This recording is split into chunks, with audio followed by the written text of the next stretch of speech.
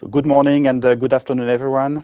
Uh, my name is uh, Benoit Cœuré, and I'm the head of the uh, Bank for International Settlements uh, Innovation Hub in Basel. Um, today is the third day of the Green Conference, uh, and I'm very happy that we can take a step away from capital markets and the world of finance to discuss um, consumer lifestyle choices. that is um, what you can do, what we can do as individuals to uh, to make the planet greener. Uh, and um, when you ask uh, when you ask consumers about um, what they can do uh, to help uh, and to contribute to the uh, to the broader objectives of mitigating climate change and reducing the carbon footprint of of our economy, um, you have different answers. That is, people are aware that they have to do it. Uh, they uh, they see the value uh, for themselves and for the and for society. Um, but depending on social groups, depending on countries, they have different answers to the question of you know what can you practically do to to support the broader effort. Um, so younger people uh, are more aware of the benefits of uh, of uh, getting vegetarian or vegan. Uh, older people uh, place more value in uh, recycling, and you also have different answers in different places. So there are lots of behavioral biases, which, uh, as we know, have been studied at length by uh, behavioral uh, economists and psychologists.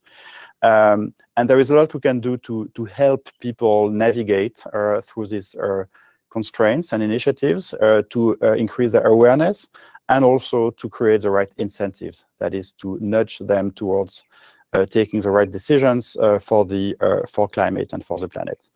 Um, and since climate change is a public good, we need a lot of international discussion and a lot of international collaboration around these efforts.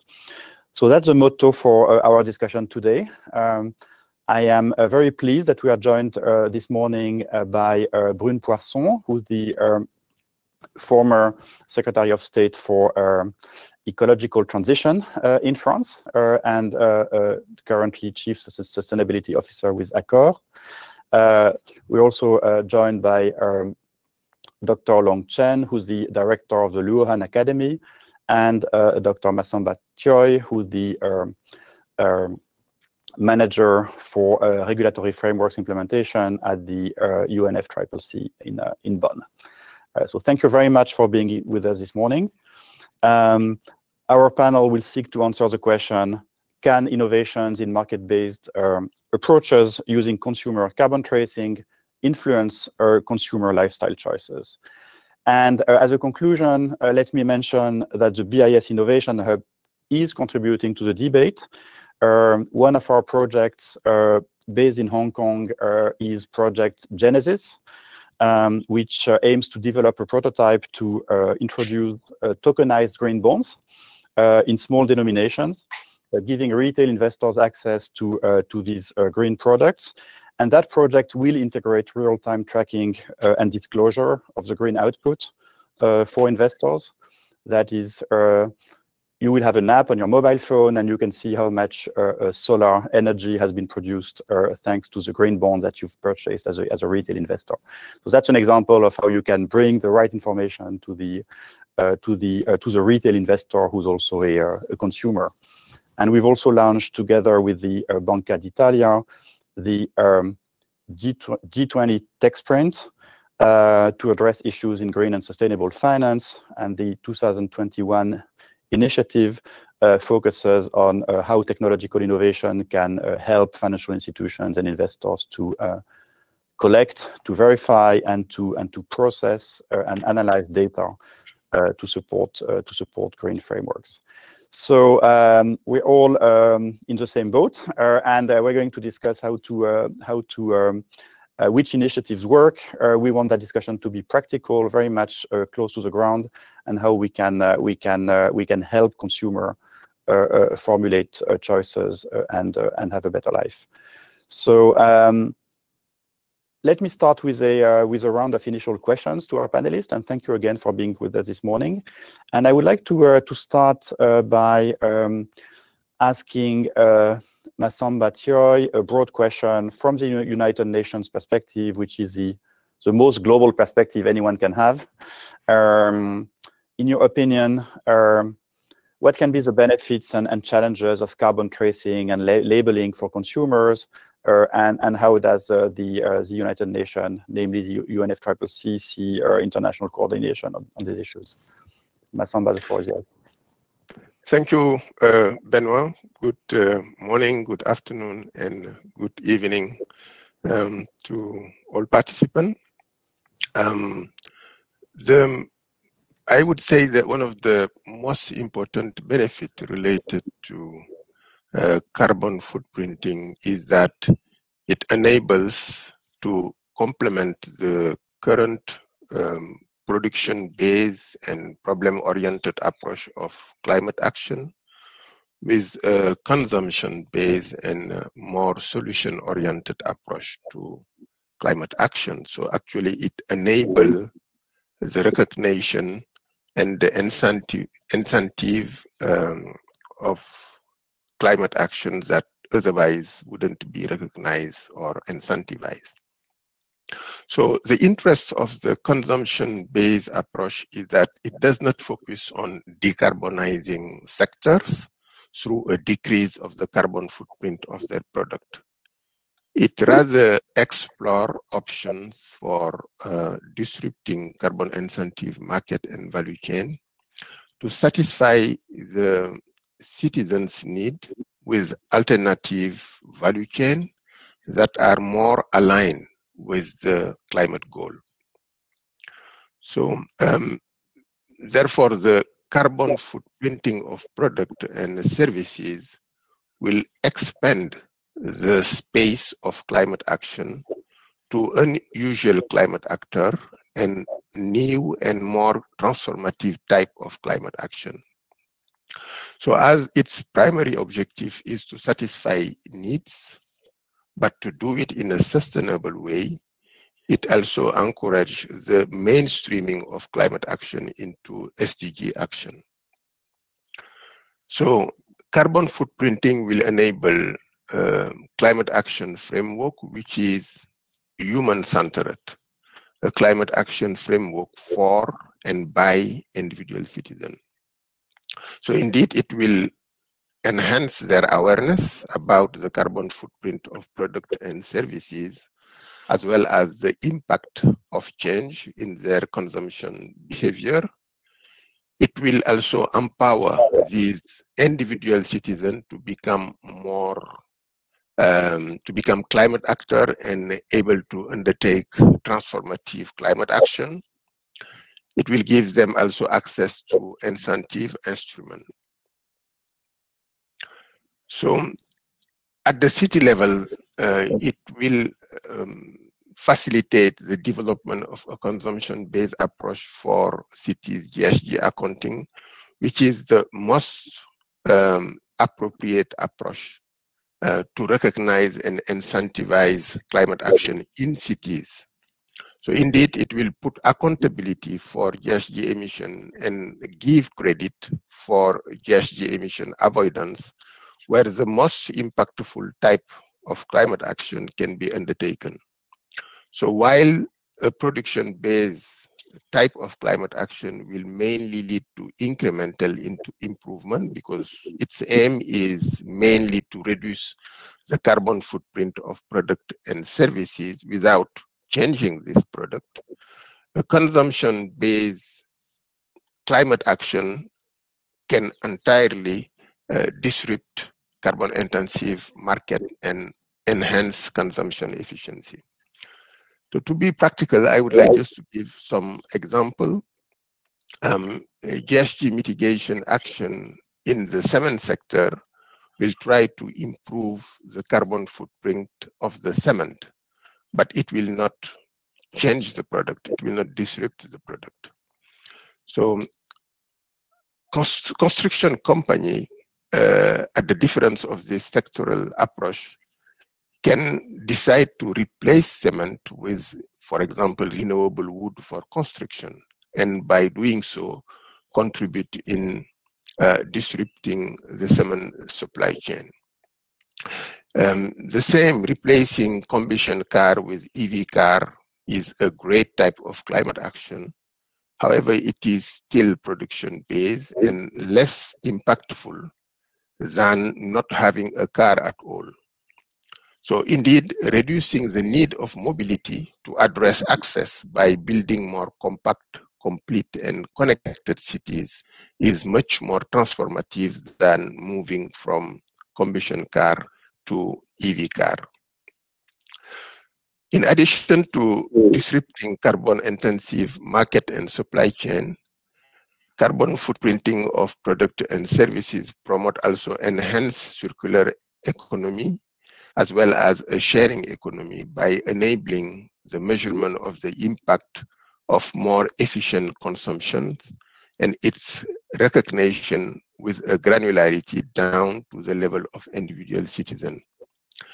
It enabled to recognize the impact and incentivize enhanced circularity of the value chain, satisfying the citizens' core need through value added usage of products. So when citizens, for example, recover or uh, recycle um, through extended lifetime of product or their part through repurposing, remanufacturing, refurbishing, repairing, or reusing, and also through smart purchase and, and use.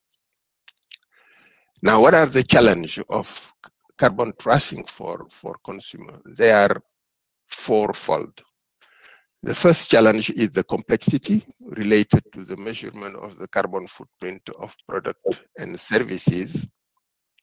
So currently the UNFCCC Secretariat and my team, we are, mainly my team, we are reflecting on the development of a new consumption-based approach to GHG accounting that will be more relevant to cities and individual citizens. So we have planned to develop the framework and to apply it to the determination of the carbon footprint of key product. The second challenge is harmonizations of the method for determining the carbon footprint of product.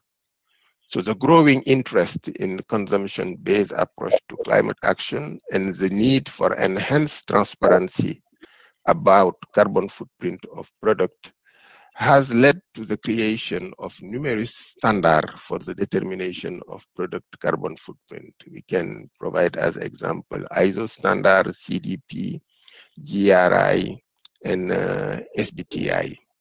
So however, with the prolifera proliferation of these standards come, comes misalignment on approach for carbon footprinting.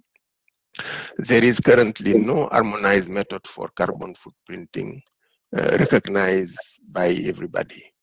So the variation covers both calculation method and emission factor, as well as data source and what is considered um, relevant inclusion. So the third challenge is the fact that awareness of product carbon, carbon footprint is not always sufficient to trigger a change of behavior. Consumers need to be empowered and incentivized to change their behavior. So this can be done through the development of a recognition and incentive scheme, including in the form of a market mechanism allowing participation of individual citizens. Now, re regulation uh, may be required where decision of individual citizen cannot necessarily be based on rational choice. However, both market mechanism and regulation to foster climate action by individual citizens require carbon footprinting. The fourth challenge is the coordination across value chain. The type of transformative climate action we expect require cluster involving policymakers, financial, corporate, technology provider, consumer, and it has to be done across cities, region, and countries collaborating on the development of climate solution. To address that challenge, the UNFCCC has planned to launch at COP26 a global uh, hub for innovative climate action that will be a platform which will have access to both database of demand and supply of climate solution on policy, finance, technology, business model, and uh, which will promote co-innovation by the entities of the cluster to develop transformative, need-based, and solution-oriented type of climate action that can change the entire supply chain currently used to satisfy our core need, and to promote moonshot uh, thinking and to bridge between demand and supply of climate solution, and to measure the impact of consumption-based climate solution and attribute the credit to the different part of the new climate-aligned value chain. And for each part of the value chain to the relevant stakeholders, the financial, technology provider, utilities, policymaker, and so and so. On. So addressing all these issues require to leverage the new digital technology such as IoT, DLT, and uh, artificial intelligence. Just to conclude, I will I will say that the the innovation hub that we plan to launch at uh, COP26 will um, look for, will seek collaboration with other innovation hub, as I mentioned, to be able to connect and get um, uh, data on solution, climate solution, both on technology, but also policy as well as financial, and probably will be very much interested to engage with, with peace and find way to collaborate on this specific issue. Back to you, Benoit. Thank you, uh, thank you very much, Massamba, And uh, let me uh, let me jump on the on the offer. And uh, and yes, there is a lot we can do together uh, in terms of innovation.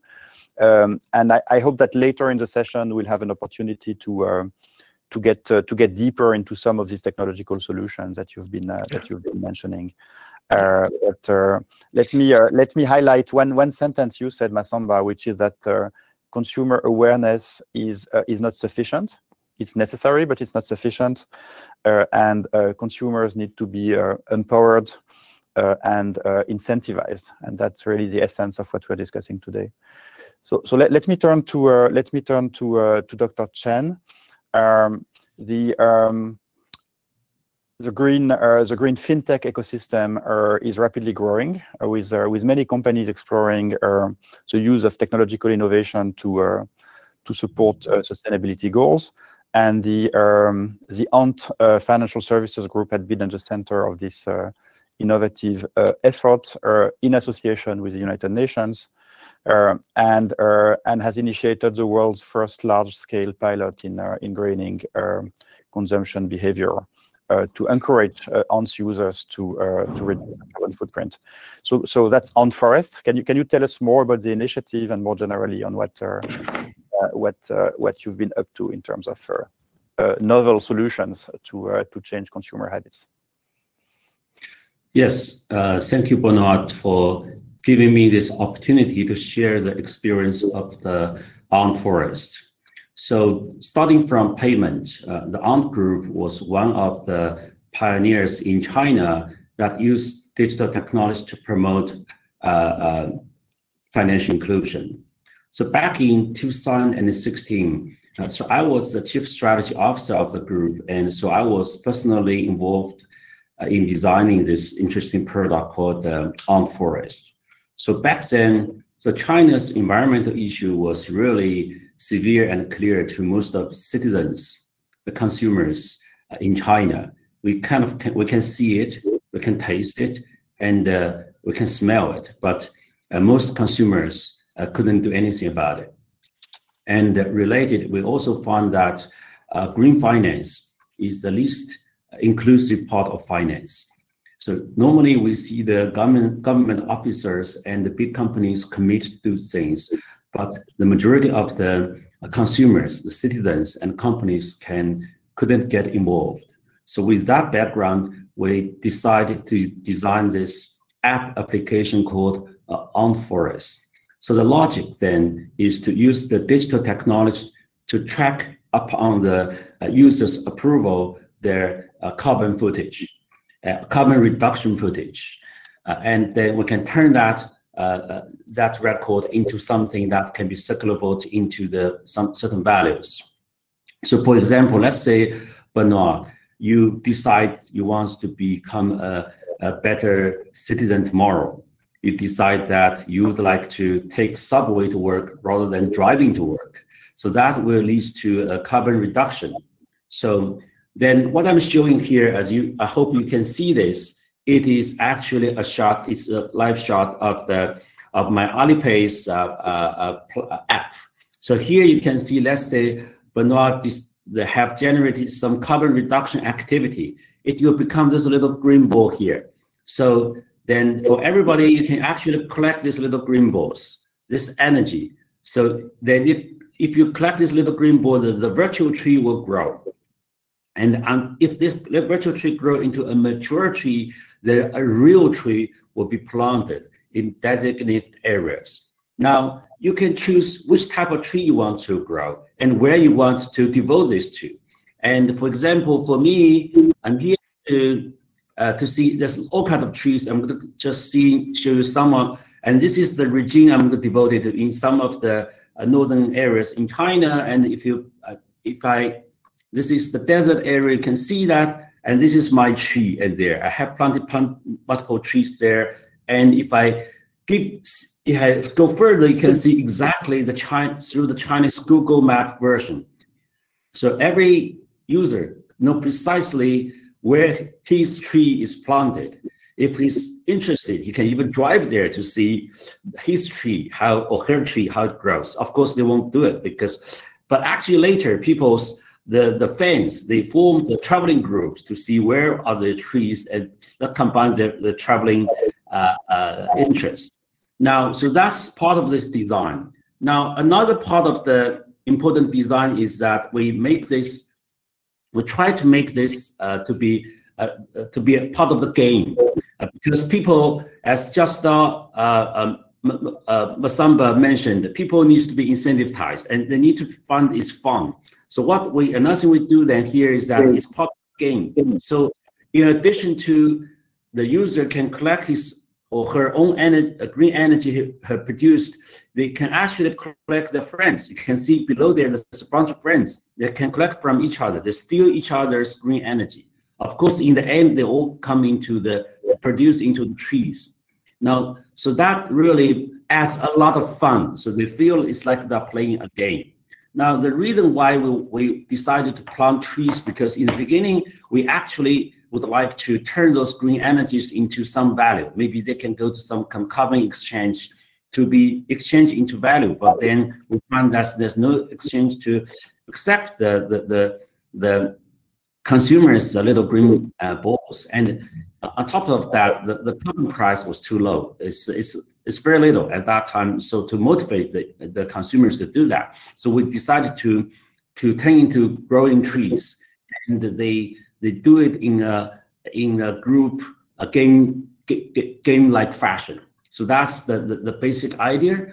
And after it was launched back in August of 2016, then it quickly, uh, without any advertisement, it quickly becomes the largest, uh, I would think, a group, a consumer side of the of the personal uh, uh account accounting of their uh, uh, green behavior in, in the world because in the past several years, now we have more than 550 million users who have agreed to adopt the program. What this really means is that more than 7% of the global population, they are watching their green behavior every day. They are, and they are growing trees every day. They have planted more than 230 million trees. They have, in many areas, they are big enough that you can easily see them uh, through the satellite. Um, so that's one interesting experiment. It's, it's pretty uh, cool. And on top of that, it also prepared a whole wave of those digital uh, uh environmental program using uh, gamification in China. So that of stimulate a lot of people using it. So looking back, it was successful uh, because we are able to using the digital technology to measure users' green behavior. uh, and we can uh, we incentivize them to make it into a game. And also, they they kind of it's like the fun they, they play with each other, and also they understand that it can turn into a tree. It's very easy to, for them to understand how it uh, uh becomes a tree. And so with those little uh, things, it be, has been uh, seems to be successful, and the so in this way, then we have somehow successfully built an ecosystem that makes the uh, users, hundreds millions of users, and a lot of institutions because they become part of the involvement too. We have, we have built an ecosystem. Everybody becomes a climate a partner, a user, or it's an ecosystem for ESG. You, you want to put, put this way. So I think that uh, seems to be a good example to show that the um, uh, to that we, we understand that digital tools uh, are famous for uh, scalability but we can you make, take advantage of that of those tools uh, to to serve social purposes. And so, and based on that, we started to work with the UNEP. So because we want to share this experience to the world, we believe those principles are uh, can be replicated uh, in a lot of countries across the world. So those, that's the basic idea of the of the Ant Forest. Let me stop here for now. Thank you very much, Long. I mean, that's a that's a fascinating experience and uh, certainly one that can be uh, replicated. I mean, in, in different ways, but in in, uh, in many places. And I, I think it's it speaks to a uh, what's a what's a uh, what's a what's a core uh, le lesson of behavioral economics, which is that people react to positive incentives. they actually react more to negative incentives. And climate action is full of negative incentives when you think about it, like taxes economy, economists love taxes. We love Pigovian taxes, uh, but consumers uh, hate taxes, uh, of course. And so, if you want to kind of overcome the uh, the uh, the psychological impact of all the negative policies that you will have to take to enforce climate action, you also need uh, a lot of positive thinking, and then what you just described is part of it. And it can be very helpful to to support and complement. Which, which brings me in a sense to to my to my third question, and that will be directed to to Brune. Um, I mean, we know that individuals don't make decisions based on uh, on perfect information and uh, and uh, and uh, and rational choice. Uh, there are there are lots of biases, and, and a lot of lots of these biases are are social biases. They are influenced by cultural uh, aspects and social norms. the results from routines and habits that that are framed by by by collective choices, and that's where politics comes in. Um, and so you uh, you are uh, uniquely placed to share with us your experience as a uh, as a government minister in France, uh, responsible for the environment uh, and for um, um nudging nudging habits not only at individual level but also at the at the collective level because that's what ministers do. So so can you share with us a little bit of your experience and how do you how do you go around it and and which, which kind of challenges did you meet when you when you were a minister? Many thanks, Benoit. First of all, allow me to really thank you and to say how, great uh, an honor it is really to be on the panel with, with you, Benoit, uh, and, and with uh, and Dr. Long. I, I found uh, the discussion really fascinating so far. One of the, to me, one of the main barriers um, to, to actually having um, carbon um, carbon accounting and, and, and and, uh, and when we're discussing work is really the issue of trust. And I think it raises three questions that we need as you know policymakers, but even as uh, consumers to answer. The first one is why, then it's how, and then it's who or with whom. So um, first, why? I mean, the very idea of having, um, um, you know, of, of putting a, a carbon uh, footprint on product and on actually uh, uh, providing information on the environment footprint on products uh, is very, very much uh, challenged. At least, let me give you an example that I will actually uh, go through. In France, one of the things that we've been trying to do for years now is um, to put a, a carbon uh, footprint on food and specifically on meat and on red meat. And the very idea of just doing that has taken almost a decade of conversations, of meetings, of trying to build a consensus just on uh, agreeing on the idea of doing that. And so slowly, uh, we sort of came to an agreement, and which is sort of what I what I led when I was uh, uh, in government. It led to an argument to a, an agreement. But then it raised a second question, uh, which was how how do we do that? Uh, again, which methodology do you use? Do you go for the life cycle um, analysis? Methodology or do you also use other criteria? And this takes another sort of few years of negotiations and, and, and work to actually reach a consensus. And there is still a very heated debate in France. For example, uh, just to, to, keep going with the example of red meat, we've had to um, the, the, a lot of farmers in France argued that the life cycle uh, analysis would actually favor uh, farmers coming from Latin America versus the French ones, and they were saying that it was actually that it should be used the life cycle analysis more for uh, industrial products rather than uh, red meat. And so we had to work and, and sort of come up with a set of common criteria to analyze and, and to, uh, to, to, put really a, a footprint on, on the carbon. Uh, so that again took a few years, and, and trust me, the discussions are sort of still uh, ongoing. And then there is another issue again on the keep, keeping on uh, with the with the issue of uh, of trust is who does it, um, and, and it's really this issue of trust who collects the data and then who shares it. And in France, for example, um, and, and perhaps, it, and I suspect it is like that in most parts of, of Europe and, and even in, in other places, consumers might, might not actually really trust the label or the footprint that the government puts in place. And so what we've realized is that in a lot of instances, they would go for private apps uh, that are actually developed by by uh, by private companies, and sometimes they're even more biased. Uh, and they're, they're sometimes not as scientific uh, and not as strong in terms of um, of you know science and data data as the government ones, but yet consumers trust them more than they trust the government precisely because they know that the government has had to go through a whole set of negotiations and discussions with the farmers uh, to come up with actually uh, the, the label and the footprinting uh, of the carbon emissions. So, so just so. So on, on paper, it is a great idea. It works really. It, this is the thing to do um, because people, when they understand things, they change their behavior more easily. We know that.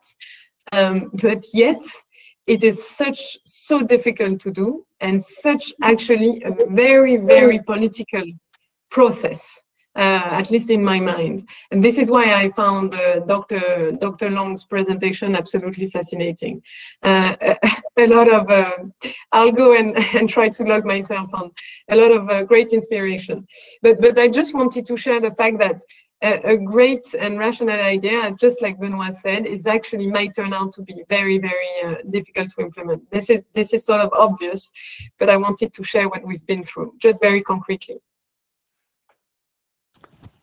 Thank you, uh, thank you, uh, thank you very much, Brune.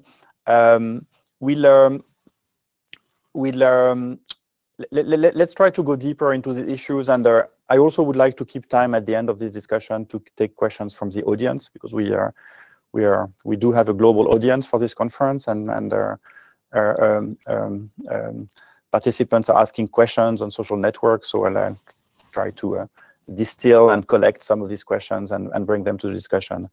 But um, ju just to try to uh, to go a little bit deeper and uh, and and to um, and to try to um, to to, to gather practical solutions. That's what I'm doing, doing here. I'm fishing for, you know, really practical ideas that we can we can take forward.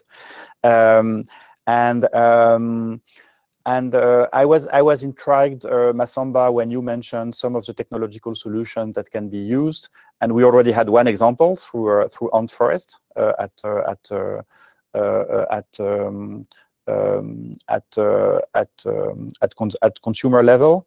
Uh, but you you mentioned the challenge of uh, coordinating across value chains.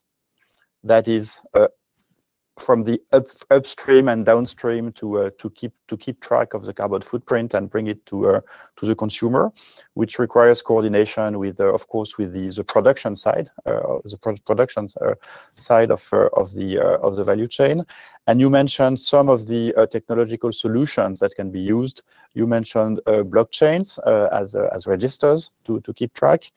you mentioned the Internet of Things um, as a way to uh, to connect with uh, with devices uh, such as sensors, smart sensors, maybe GPS data, satellite data. So can you expand a little bit more on your experience of what helps, what works, what doesn't work in that field? So thank you, Benoit. in fact, the four challenge hmm. related to carbon footprinting identify Uh, during my previous intervention, namely the issue of complexity, the issue of harmonization, coordination, as well as the need of an incentive instrument. This issue can be addressed through leverage of the digital technology, including the one on the data supply chain. As you mentioned, Internet of Things at the production of data, uh, distributed ledger technology for the transfer of data and artificial intelligence for intelligent workflow taking automated decision. And actually the three issue I have mentioned, the three first complexity, harmonization, harmonization and coordination are to a large extent linked also to the issue of trust that was mentioned by, by Brune, because the more it is complex, the more you people understand and the more it is difficult to, to build the trust. And also if you do not have an harmonization, if you have proliferation of uh, standards that are contradicting each other, it will confuse people and then they will lose trust. And this is why all these things are need, needed to be need to be addressed so that uh, trust can be there. Uh, what is really interesting is that the emerging um, digital technology can help address uh, all these issues. So the current consumption-based approach to GHG accounting is too complex. Uh, this is why a production-based approach is generally taken. So we are actually extremely good on measuring um, um, the GHG emission coming from a specific site we are extremely good on doing um, GHG inventory. But when it comes to doing the carbon footprinting of product, because precisely it include uh, life cycle analysis, um, it include um, understanding the supply chain as well as where GHG are emitted. This is uh, really a challenge. This is really complex. And this complexity is uh, related, the complexity of consumption-based approach is related to the fact that um, we are using what I would call an Eulerian approach to describe the flow of embodied carbon in product. So it means that the observer um, aiming to account for the GHG emission related to the consumption of a citizen focus on that citizen identifying the product it consumes and trying to figure out their carbon footprint, but rebuilding the story of this product at that stage can be very challenging and availability of data is the main barrier to this approach. So to address that challenge at the UNFCCC Secretariat, we are exploring the use of what I will call a Lagrangian, Lagrangian approach for the description of the flow of embodied carbon. So the carbon footprint of product is determined by following the product and their embodied GHG emissions through time and space along the value chain. It is possible then to keep track of their trajectory and their history. Each ton of embodied GHG emission will carry its own properties. and the different product in which it has been embodied changing with time until its uh, product carrier is consumed by an end consumer. So this tracking is possible if digital technologies such as distributed ledger technology, including blockchain, the Internet of Things and artificial intelligence, global position sensor, and uh, radio frequency identification are leveraged. So this is about the complexity part. Now, for individual citizens and their, uh, we, we, we said that they, they, they need to be incentivized. Individual citizens should be part of the solution for a scale and accelerated pace of response to the current sustainability crisis. It was mentioned by Dr. Long. That's uh, very important. We cannot um, win this fight against climate change if you are not able to mobilize individual citizens. But their contribution need to be measured, recognized, and incentivized. Digital technology can facilitate the measurement of climate contribution down to that level of granularity, down to the level of individual citizen. Through um, digital technology, the GHG emission of the different part of the value chain are uh, determined. So the Internet of Things, the immutability function of the DLT, its consensus building function, as well as its distributed nature, ensure that the information related to the carbon footprinting of product is produced and transferred without alteration. This is important for the issue of trust. So the GPS provide information related to where the carbon embodied has been emitted from, and the smart contract facilitate the transfer of responsibility for GHG emission from producer to consumer. In the approach that we are taking, um,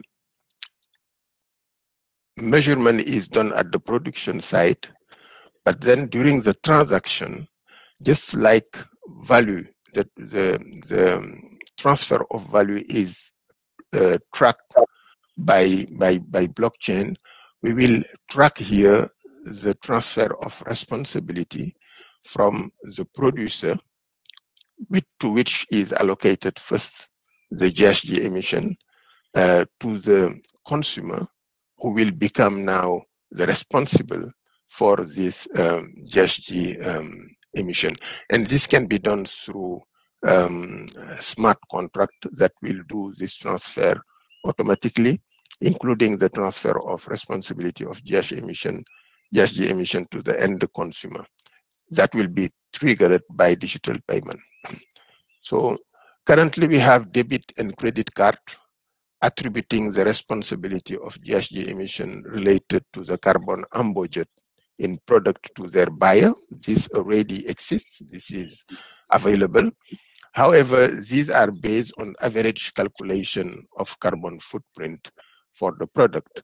And, and this is not really precise. And this is what also bring this issue of, of trust, because uh, we all know that, um, for example, steel production depend on uh, the carbon footprint um, and, and the um, uh, carbon intensity of the uh, grid of, of the electricity that has been used to produce this steel. So you cannot say all steel have the same carbon footprint. It depends on where they are produced from. So, and this is this issue of differentiation that um, the approach that is pro proposed now is is um, uh, addressing. Um, so this will replace the theoretical average value of carbon footprint with real value taking into account the real GHG emission emitted along the real supply chain and using life cycle analysis. DLT will also facilitate the involvement of individual citizens in the trading of carbon credit. This is also very important for the incentive instrument. They should be able to participate in um, carbon market and trade among themselves um, carbon credit considered as, as value. So the last issue addressed with the use of digital technology is the issue of coordination. The cluster of climate solution from policy making, finance, technology, innovation, innovative business model that are relevant to address a given demand for climate solution on the hub for innovative climate action that we are um, launching at COP will be identified by an artificial intelligence power tool supported by human creation. Here again, the immutability and consensus building function of DLT, uh, distributed ledger technology, are used to attribute to climate contribution, uh, to attribute the climate contribution to the climate actor along the supply chain without double counting. So if you have um, along the supply chain, let's say from um, if if you take geothermal uh, electricity, for example, and then you have actor at the exploration phase, and then you have actor at the drilling phase, and then the production of hot water, and then the production of green electricity. How do you distribute um, the climate contribution to the different actor at this different stage of the of the value chain is something that um, will be addressed without double counting. So we can see that digital technology do not support um, climate and uh, uh, SDG action only by streamlining, increasing efficiency, and reducing cost. It is actually do, doing much more than that. The digital technology can go beyond just streamlining and increasing efficiency and reducing cost. In the specific application I share, they enable climate policies and solutions that otherwise would not be possible. So it's more than increasing efficiency. So the combination of uh, Internet of Things, uh, distributed ledger technology, and artificial intelligence to cover the production, transfer, and processing of data along its value chain is particularly effective in that regard. So we really expect this com the combination of these three um, digital technology to contribute in broadening the space of climate action, making possible action that otherwise wouldn't be possible. Back to you, Benoit. Thank you very much, um, Massamba. I, I, have to say I'm, I'm, impressed by the way you and the uh, and the uh, UNFCCC have uh, have been uh, thinking through uh, the use of these of these technologies and, and how to combine them to uh, to, to, to to to deliver. and I mean the two points I would like to bring home is our first on the use of DLTs. There is a lot of hype on the use of DLTs in finance, of course, as we know, around cryptocurrencies and now DeFi, decentralized finance, uh, burgeoning in many in many in many ways. Uh, but DLTs are ledgers, and so they can be used also uh, to track outcomes in the in the physical world. and um, and what I see really as a as a as a positive challenge is how to combine the two. That is how to combine a DLT approach where you can trace carbon uh, carbon outcomes uh, along a supply chain with a DLT approach, uh, say for a payment system. So that uh, you can bring this information to the uh, to the merchant, uh, to the uh, to the consumer uh, at the point of sale, and uh, and then you need to connect the two. And and and and certainly there there will be ways to use smart contracts to kind of ship information in a in a very efficient way from one universe to the other, to the from the physical universe to the financial universe. And that's a, that's a very exciting project for the future. Uh, and, my second takeaway is, uh, and relates to what Brune Poirson was saying earlier, that's about trust. That is, uh, a, decentral, a, decentralized approach to carbon tracing might be a way to uh, to uh, to create trust uh, in in in numbers and and and outcomes, which are, will not necessarily be trusted if they come from the government. And that's also a device that you can use to kind of connect uh, connect people uh, to the better to the whole process, and that that's really food for thought. Um, let, let, me turn to uh, to to Chen Long, and uh, I mean, first, if you have any reaction on what uh, Massamba just said, it's very welcome from from your perspective. Uh, but another question I wanted to ask you is about changing consumer habits and patterns uh, the COVID-19 has been a big push for um, um, for online uh, uh online uh, uh, commerce and and and and for digital transactions everywhere generally. As we can see, by the way, today this morning in this conference, we're not together on a stage, but on a on a digital platform. And, uh, and this we can see in payments, of course, where there is a very, very strong push towards uh, digital payments and digital banking, uh, which, which COVID has kind of accelerated, has boosted. Um, and, the change in consumer patterns, in a way, on the one hand, can be very good for for carbon footprints because it's paperless, and you know virtual banking is paperless, and and there will be and presumably more more carbon efficient. Um, on the other hand, you also see some behaviors which are not that carbon efficient, like you know, uh, kids buying T-shirts on uh, uh, on Amazon, and uh, the T-shirt will come from uh, some place in the U.S. and travel like uh, 10,000 miles to reach them. And if they don't like, if it doesn't fit, they will send it back to the U.S. Right, and that's 2,000 miles, 20,000 miles.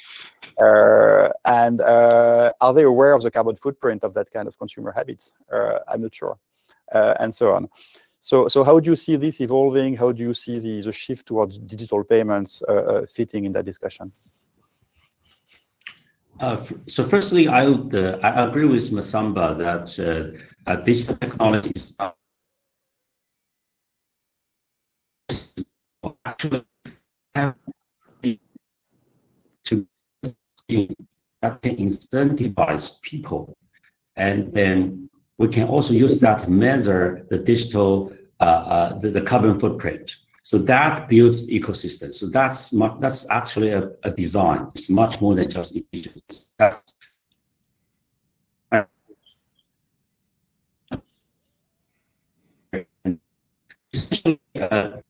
digital technology, of, of course, mobile internet uh, makes information digitized. So we can make use that information to, to measure uh, carbon uh, footprint, this or that. And so I, I don't think it conflicts with the trust.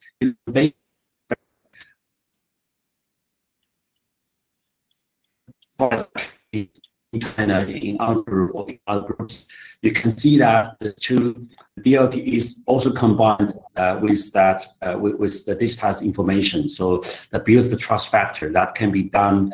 Uh, the build trust uh, through uh, between the institutions or decentralized, completely decentralized.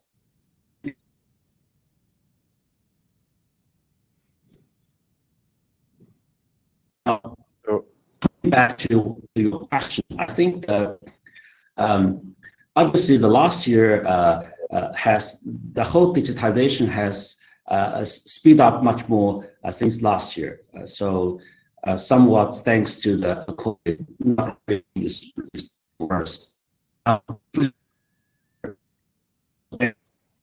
last year, China's uh, e-commerce uh, accounts for about 27% of the China's retail sales in China. And China has more than a billion mobile payment users. So in a sense, China has somewhat uh, makes a, a digital lifestyle country.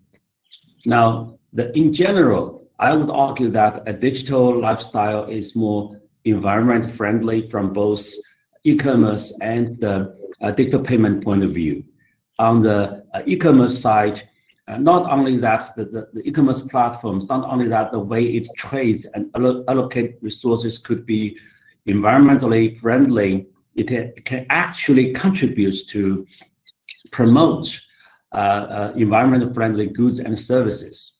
Uh, let me give you some concrete examples. For example, there's this one upcoming uh, uh, uh e-commerce platform is called the Idlefish, and the young people really love it. What is Idlefish? It actually trades secondhand uh, goods, and now this year it's going to finish accomplish about 500 billion um, RMB of the of trades. so that's close to 100 billion US dollars. So uh, think about this way. For every uh, second-hand clothes we buy, it avoids the, the, the production side of this. So that is direct carbon reduction activity. And young people, they love it. Actually, we found they are the most active ones They don't do not have that much money. They want to have a good lifestyle, and it's an environment environmentally friendly lifestyle. This is one good example. To give you another good example of the digital technology, that is the cloud computing. Now, in this age, uh, in the age of digitization, actually com cloud computing is really the most efficient way of using the computing power. It saves so many com companies of the, the IT, IT infrastructure. And actually, you can use the computing power very freely, you know, allocate the time. And, and also the computing power is decentralized.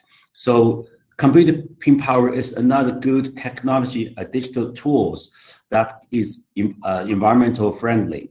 Another example is the it's a logistic. Now we can use the the, the, the smart routing. We can use the uh, green green packaging and the uh, uh, green uh, uh, the the algorithms to make the logis logistic much more uh, much more green.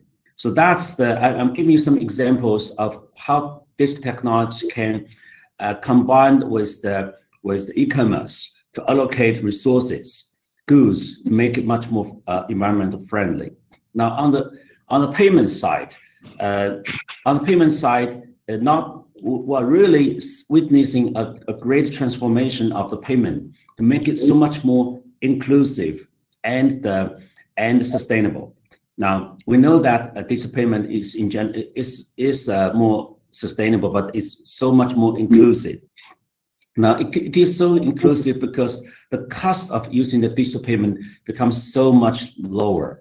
Now, in China, for example, nowadays, if you we remember, if we in traditionally into into in, with a big store, with the stores, you have to have this the POS machine, the point of sales machine, that can uh, have the proper risk management uh, uh assessment. But nowadays, that you can access using the QR codes. Uh, is that essentially that reduce the cost of the POS machine to essentially is zero. So everybody can use it. In China, if you travel to China, you can see the beggars using the QR code. That's their POS machine uh, for, for the digital payment. So I think that's, that's why you can see that in China, where they see we have the more than 1 billion uh, the, the, uh, uh, the digital payment uh, users. Now, the digital payment is not just a payment, it's actually, a, you can see it's a portal that can combine payment with so much more, many more activities. The, the, the Ant Forest is one good example. It can be combined to measure the green activities to make things happen. And many and, and there are many other uh, innovations. For example, sharing bicycle. Now, in China, that is another bit, uh, uh, uh really uh, uh, emerging hobby for a lot of the people. So because you have the digital identity, now you don't need to have the have for the bicycle owners to be present to accept the to to to to, to, to lend out the service. Now you, you only use the digital payment. You can have the using the sharing bicycle. Uh, as so many more innovations are coming out based on the digital payment.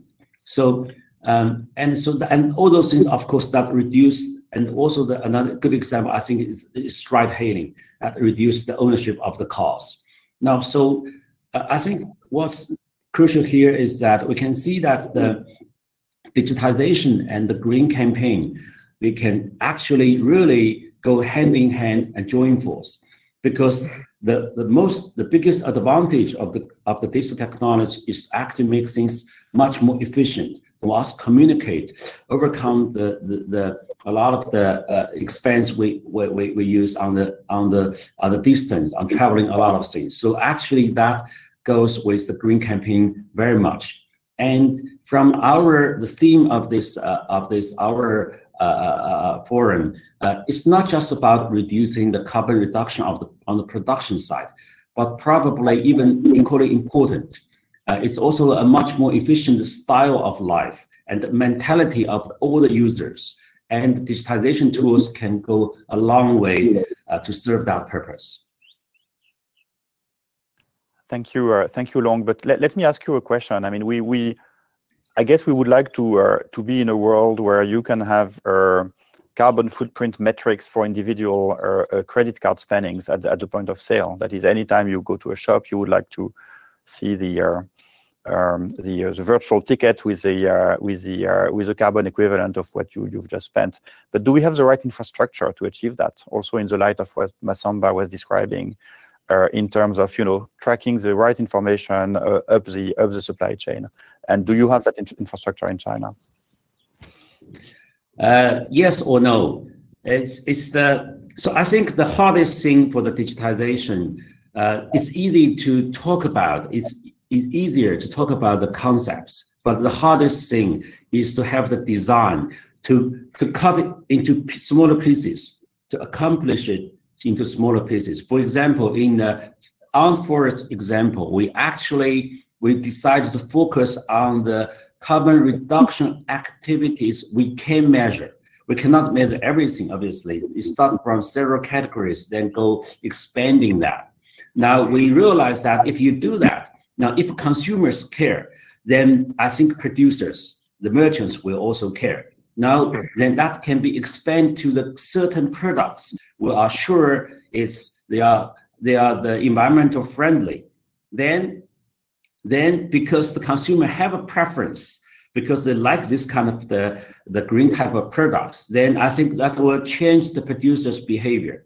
Now, with better digital technology, you can if you can measure more and more the whole production procedure, more and more the categories of the of the products and services. Obviously, it would be ideal, but I think this is the, the most interesting part, and it's also the hardest part, is to use the to have the right design that can uh, solve part of the problem progressing from here. Because once you build an ecosystem, once more and more people get in get involved, get incentivized, then at, you can people have more incentive to to measure things well to be to be probably rewarded. So, but that's you have to go piecemeal. Uh, so it's not zero or one. Uh, that's the challenge or the art of the digitization combined with our green campaign. Yeah, I, I, I mean, I agree that you've got you've got to show that it's possible, so that consumers start asking for it and when consumer will be asking for it, the uh, the whole uh, the rest of the economy will follow in a way. Uh, so you've got to show that it's possible even with small experiments. Uh, so Brune, uh, I mean, any any uh, any any follow up thoughts or and, and, in particular, I would like to to to to pick your brain on this on this trust issue and whether the whether decentralized approaches can help overcome some of the kind of trust issues and political difficulties that you've that you've mentioned. I think I think you're right. I think decentralization would really help. Um, but I think one thing also that would really that would help is um, we tend a lot of private companies tend to assume that if consumers or clients ask for carbon footprint, then then it's only then that we will provide them with the information. I, am guessing this is like the, the whole point of our conversation. But I think sometimes we also need whatever it takes, even if it's uh, not perfect at the beginning. And this is exactly what uh, Dr. Chen was uh, Chen Long was saying. Uh, we need to push for that, and this is the role of government. So at some point, at at least at the beginning, I find it difficult to do it in a decentralized way. It has you have to have a strong push um, from the top, um, so, so that it becomes sort of more. Um, more widely widely used. But so that's on the one hand. But on the other hand, I would say it also depends on the sector of the economy. It depends on what you you what products you're talking about. Um, if you're talking about issues such as meat uh, or such as sorry food, this is of critical importance. This has a very very uh, strong political, at least you know, um, in countries such as uh, France. This has really a, a a very uh, this is a very complicated and difficult issue with a lot of political consequences. But if you took and if you look at cosmetics uh, for example i think the push from the market uh, is really is really uh, much more uh, sort of easier and the government and it can, you can go for a decentralized approach approach way faster so I would say again, I, I don't know whether this is uh, helpful, but I would say that again, it, it, it depends on the types of, uh, of products. But I strongly believe that at the beginning, you have to have a push from the top uh, and a push um, and, and sometimes a centralized approach. Or maybe this, this is just me being too French and too uh, sort of uh, Jacobin. I don't know how you translate it in, in into English. Um, but even though technically and, and uh, in, even though decentralized a decentralized approach is more sort of uh, makes more sense um, concretely, and I think technically, I mean. No, I mean, I guess a lot of this conference has been uh, so far has been about regulatory frameworks and uh, and and uh, incentives to be given from the from the top by by regulators, by central banks, and by governments. So I think that's uh, that's fully accepted. But for it to work, it has to uh, it has to be it has to be it has to be workable. it has to be accepted by by economic players. So it cannot be entirely a top-down approach, which, which is why we're having that discussion also on you know decentralizing some of these incentives and uh, and making sure that uh, that you you create ownership uh, by the different economic players. Hmm. Can I can I can I push you a little bit, Brune, on the on fashion? Because you mentioned the fashion industry, and as it happens, when when I was preparing for this for this conversation, I came across numbers saying that the fashion industry was responsible for 2.1 billion uh, metric tons of, uh, of greenhouse gas emissions in 2018, uh, which is 4% of the global total. So if you, if you put it that way, that means that the fashion industry emits the same quantity of greenhouse gas as France, Germany, and the UK combined. And so people are complaining that, say, Bitcoin is uh, consuming as many uh, as much energy as Switzerland or New Zealand, but the fashion industry is as much as France, Germany, and the UK combined. Uh, but of course, in a country like France, you're not going to say that fashion is bad, right? So how, how do you reconcile well, I, I, different political, uh, you know, tensions here? Um, so, so thank you, Benoît. I, I didn't know whether I, I could or I should uh, mention that, but but you're right. And this was this was very difficult. Um, I, I, said it openly, and uh, and it it was a big political row in France. But uh, and this is why, and this is the whole point of this conversation. This is why we had to to push really from the top. Uh, but I think we need to keep. Uh, and now there's currently a, a, really a fight and almost a battle between uh, between Europeans and Americans in terms of defining the criteria and how you will measure the carbon footprint. Uh, so again, it all goes back uh, to, to, to, to, the role of regulation, but also to the role of uh, political sort of trust and discussions ahead of launching such initiatives. And I think um, I think uh, the fashion industry is very sort of interesting in, in, in that, especially because things are not going better, things are going worse. Uh, I'm gonna get a lot of calls after this, uh, but things are, are, are, getting worse because, uh, and Dr. Chen Long, I don't fully agree with you. Um, so the, the second, uh, so, so, people are, are, buying more and more clothes, um, and the secondary market is actually uh, makes young people consume even more. So that's that raises a question as well. Um, so how and this is the whole issue of how do you change behavior uh, clearly technology and even carbon footprint footprinting is not enough. You need to have some sort of, I, guess it's the basics, but then you need to have a moral conversation because at the end of the day, uh, and but this is my view of things, and I know a lot of people don't share it. At the end of the day, it has to come down to also a moral issue. Uh, and this is where, uh, and this is the point of our conversation, this is where also it comes uh, into and it comes to broader conversations that that, that, that need to happen at the at the country national level and, and even between communities of of consumers. Matt? I don't know, Benoît. Maybe you can push me even more if you if you wish. No, no, no. I, I, I wanted. To, I just wanted. I would like to hear longer on, on react to that. Yeah. Yes. Yeah. I don't think there's any, any conflict of what we're seeing here. Precisely, I'm saying that uh, uh, it's very hard for people to change their uh, pursuit of the what they, they like. Like fashion is probably one thing, but at least part of the thing we can do is to better use of the uh, the products that already used. That's the, the, the kind of thing I'm talking about on, on Idlefish. So even for the fashion, so for younger people, if they produce the if they consume the new new new clothes or, always the new ones that, that will really have a lot more production and but we can make if, so every time we make better use of the current stuff, the services, I think it's much more efficient, it's environment friendly. So in that regard, I'm really agreeing with you. I, I think there's no conflict here. I'm really happy to hear that, actually. So I would like to um, I would like to um, uh, to convey to you a question that that was asked online by uh, actually by my friend uh, Hélène Rey, who's a professor at the uh, London Business School, and she's a she's a fantastic economist, and she just asked the following question. Uh, she so she's watching us, and she she just asked the following question: Would the participants agree to make relevant raw data for example, on physical risks, carbon intensities available to the academic community. So how much of this data we're talking about uh, can be can be public, can be can be made available, in particular to the academic community?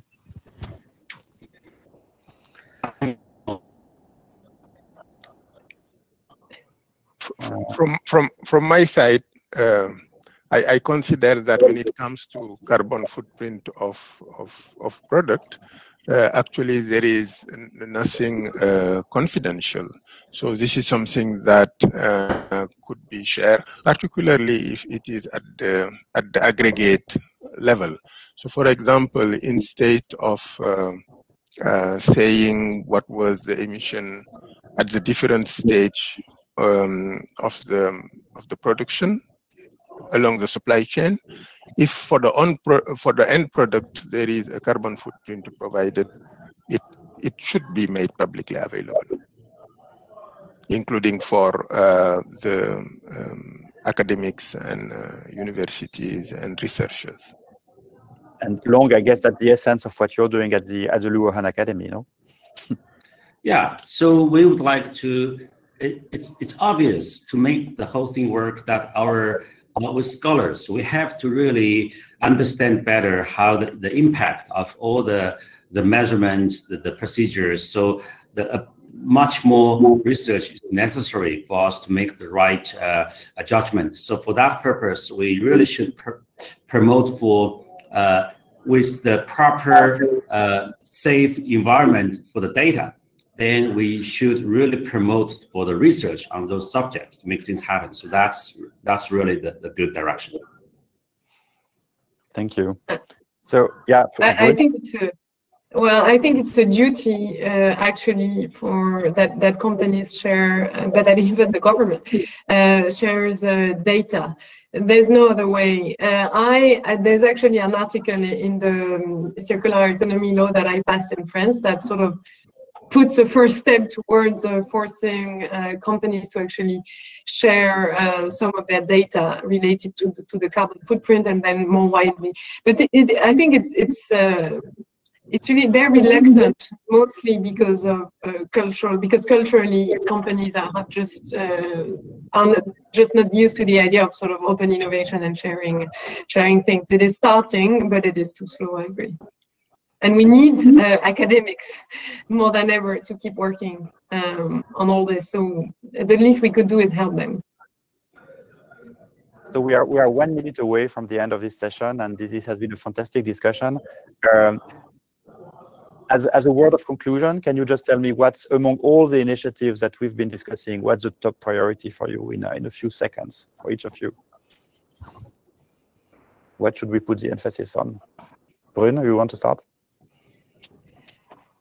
Um, tr uh, trust and transparency. This is very cliche, but finding a good way of uh, being transparent builds trust, I would say. Thank you. Uh, Massamba?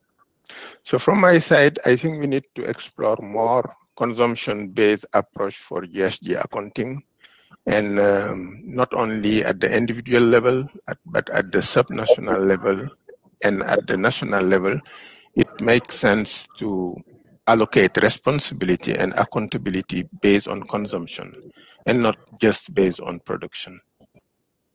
Thank you. And uh, Chen Long? The awareness of the whole society and using the digital technology to build the, the right design for the ecosystem that everybody can become a, a partner, a player uh, for, for the green campaign. So with that, I would like to thank you uh, all three very much. Uh, this has been a truly fascinating discussion. Uh, thank you very much, and uh, let's move on to the next sessions. Thank you and goodbye. Thank you. Thank you. Bye.